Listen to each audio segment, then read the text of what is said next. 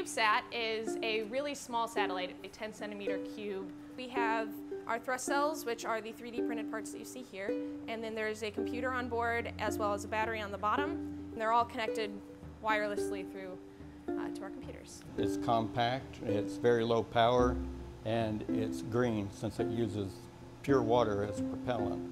There's no volatile chemicals involved, so it makes it safe to bring onto the space station.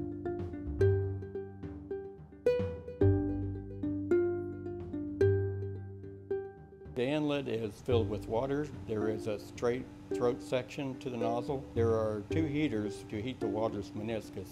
When they are heated to approximately 50 degrees C, this triggers vacuum boiling of the water, which creates water vapor, providing thrust. Small thrust is critical because anything that you start moving, you'll have to stop. If you're trying to adjust the orientation of a satellite, you want to use as little amount of propellant as possible to turn it because you'll have to start it turning, then you'll have to stop it turning. To be able to do that, you need to have highly controllable attitude control systems like this micropropulsion device. We are able to provide that with this system. We're just now trying to, instead of just having a theoretical thruster, we're trying to actually make it and see how controllable we can make it.